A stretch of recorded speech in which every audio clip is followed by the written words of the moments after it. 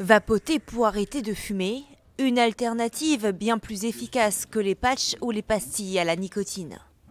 En 2018, 3,8% des Français âgés de 18 à 75 ans disent utiliser quotidiennement la cigarette électronique.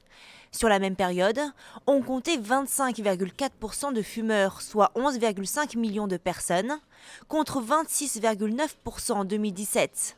La cigarette électronique, un moyen pour sortir du tabagisme. Parmi les fumeurs, 8 sur 10 l'ont déjà testé. 40% des vapoteurs quotidiens fument toujours des cigarettes, mais près de la moitié d'entre eux sont d'anciens fumeurs. Leur usage est nettement préférable au tabac, car l'utilisateur n'est pas exposé aux substances toxiques, dont les goudrons.